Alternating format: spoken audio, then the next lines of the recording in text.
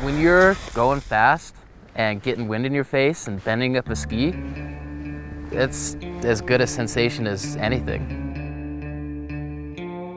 You ever stick your head out the window going down the highway and then pull it back in the car and you're like, that's kind of like skiing groomers.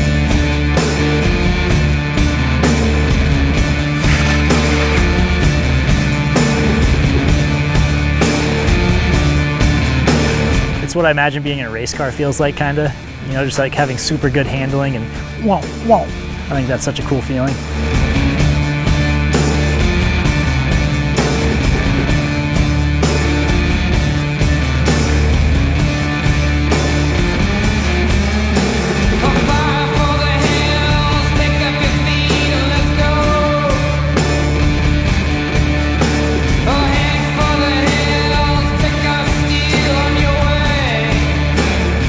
Get kind of overlooked because they're seen as just a way to get from, you know, one bowl to the next chute, you know, but really they're a fundamental part of skiing.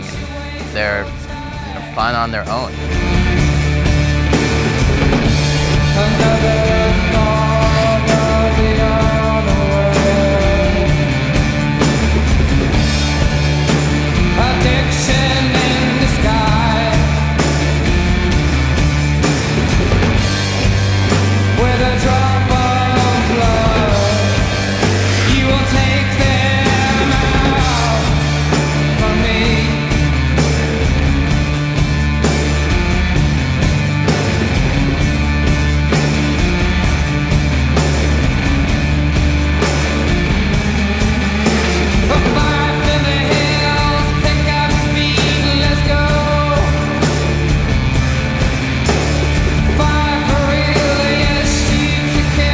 If you're good at carving, you can ski anything. It can get you out of any situation and it can make it look a lot cooler too when you're ripping down something if you're really like laying sick arcs on it.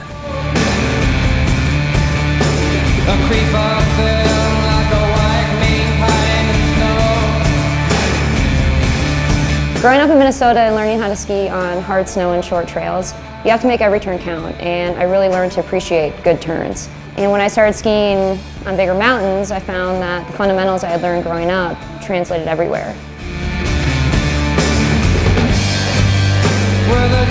There's plenty of guys that go big at Snowbird, but if you can't arc a turn, you're not going to impress me.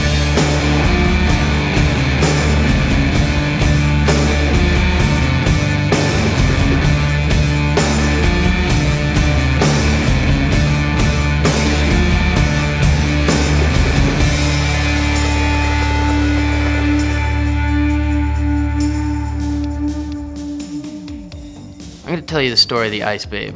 It was our last day of filming, and Robby's about to take his last run because it was so hot out. The snow was getting slushy, and we just couldn't ski anymore. And out of nowhere, out of the woods, comes the most beautiful girl I've ever seen, wearing nothing but tank top and spandex shorts. She slides right over to us and says, It's really icy out today, huh? And before we could respond, she just skied away. So Ice Babe, if you're watching, call me. Let's go ski some icy groomers.